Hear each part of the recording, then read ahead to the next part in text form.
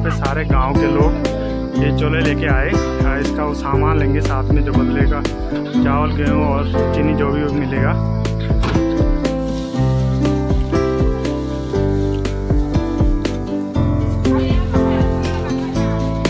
अभी देखिए, ऐसा चल जा रहा है आराम से। फरवरी में है इसकी शादी। भाई, तेरे को नीचे से इसलिए स्पेशल बुलाया दाल घाट काटने के लिए, ताकि चाची के साथ हेल्प हो सके।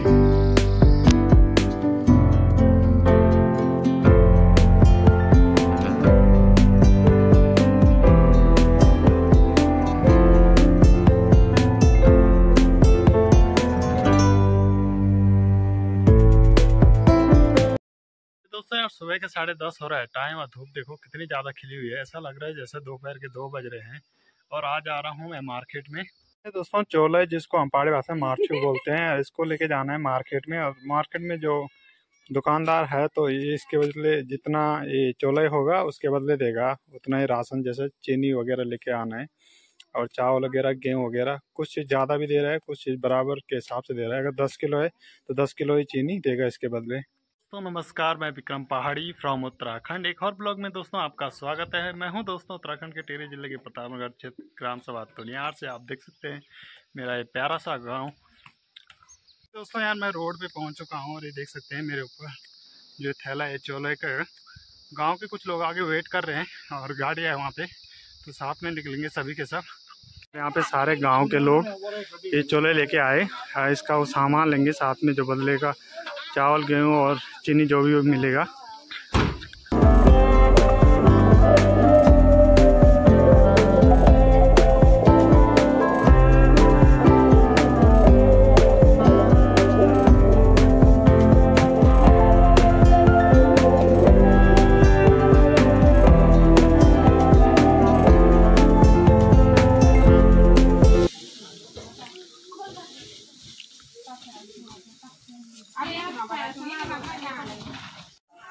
दोस्तों राजा खेत का मार्केट। दोस्तों, यहाँ जितना भी गाँव वाले आए थे, उन्होंने सामान वगैरह जो भी लेके आया था, चोला और उनके बदले किसी ने रुपए लिए, किसी ने चावल लिए, किसी ने गेहूँ लिए। मैंने तो चीनी ली, मेरा था साढ़े सत्रह के जी चोला या उसके बदले मिला साढ़े सोलह के जी चीनी। और अभी बैठा हूँ मैं दुकान पे भाई और की और बाकी लोग गए हैं शॉपिंग करने सामान वगैरह खरीद के उसके बाद साथ में निकलेंगे हम घर।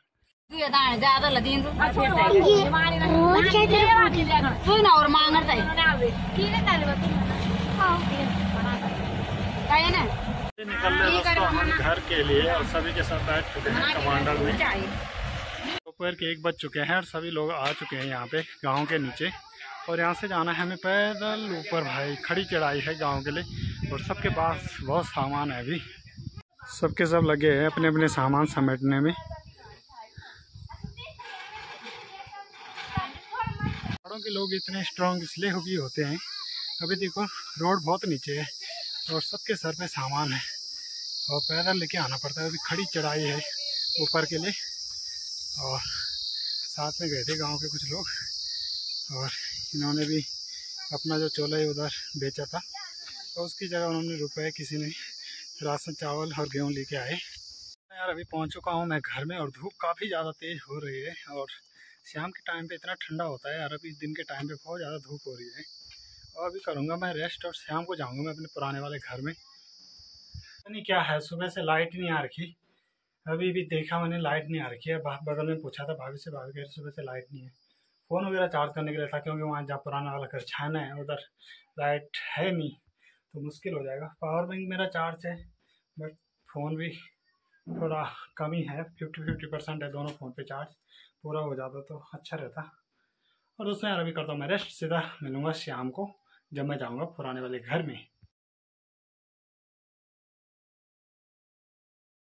अभी हो रहा है दोस्तों सुबह के आठ और मैं जा रहा हूँ अभी अपने पुराने वाले घर में। कल मैं जा नहीं पाया तो मैं गाँव में रुक गया था और सुबह सिस्टर का फ़ोन आया।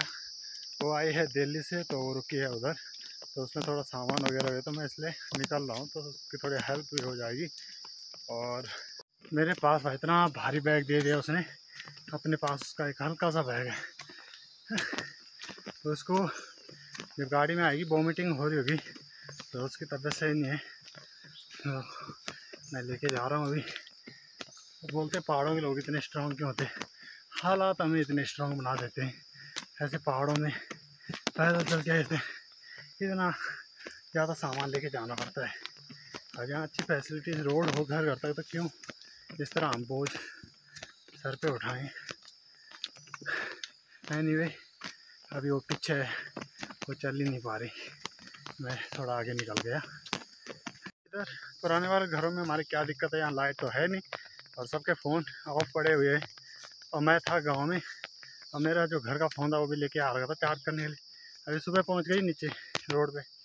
अब किसको फ़ोन करें? फ़ोन का ही मिले ना, बारी में फिर लास्ट में उन्होंने मेरे को फ़ोन किया।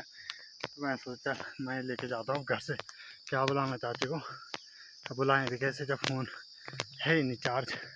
ये बड़ी दिक्कत है इधर। अभी देखिए ऐसा चल जा रहा है आराम से। फरवरी में है इसकी शादी। भाई तेरे को नीचे से इसलिए स्पेशल बुलाया दाल घाट काटने के लिए, ताकि चाची के साथ हेल्प हो सके। गाँव से आने के बाद दोस्तों यार, मैंने जस्ट लिया सावर और आज मुझे नहाना पड़ा भाई ठंडे पानी से, क्योंकि मैं देख रहा था वार्मा मैच इंडिया ऑस्ट्रेलिया का वार्मा मैच चल रहा था।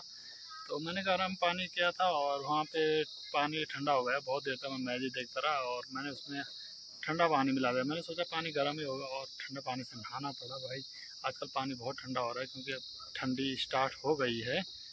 एक हमारे घर में मस्त आदमी अपने आप में मस्त रहता है। जैसे किसी की ज़रूरत नहीं, अपने आप में खेलता रहता है। दादा। दोस्तों यार शाम के बज चुके हैं पाँच और मैं हूँ अभी इधर खेत में। अखरोट का पेड़ है इधर। और अभी इस पत्ते वगैरह गिरने लग गए हैं। और तो जो उस पर पे पेड़ पे जितने भी अखरोट थे वो खुद ही अब झड़ जाते हैं और मैं इंजॉय कर रहा हूँ यहाँ पे। और आज का ब्लॉग करते हैं दोस्तों, यहाँ पे ख़त्म। और चैनल को ज़रूर यार सब्सक्राइब कर देना वीडियो को लाइक कमेंट और शेयर भी करना यार। और जब वीडियो देखते हैं तो वीडियो में लाइक और कमेंट ज़रूर करें यार। और वीडियो को ज़्यादा से ज़्यादा शेयर करें ताकि मेरे आने वाले